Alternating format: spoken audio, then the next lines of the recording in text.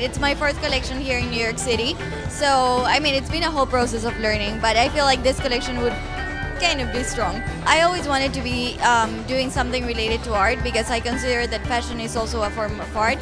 Um, but I never had the chance until in 2010 I had an accident in which basically um, I had to stop the career I was taking in university and take this as a recovery process.